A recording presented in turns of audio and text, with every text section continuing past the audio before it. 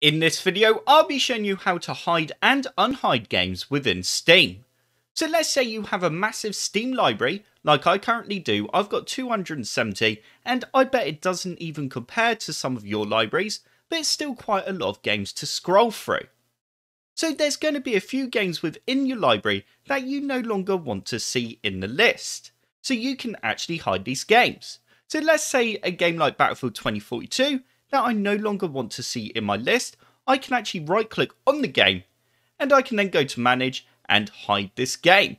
And this is now hidden Battlefield 2042 from my game library. So as you can see, it's now been removed from my favourites, and if I scroll down, it's no longer here in my uncategorized list. However, Battlefield 2042 Open Beta is still in the list, so I can do the same again, right click, go to manage, and go hide.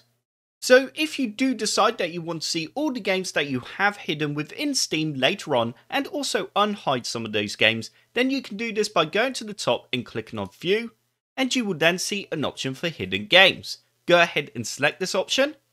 You will now see a list of all your hidden games. And as you can see we have there BF 2042 and then also the open beta.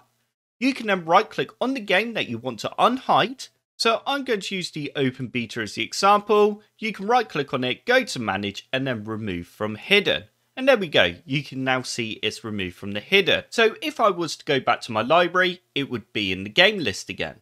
So that's how you hide and unhide games in Steam. I hope this video helped you out and you enjoyed it. If you did like the video, click the like button below. And if you would like to see more computer sluggish videos, then click that subscribe button. If you do subscribe, then I will see you in the next video.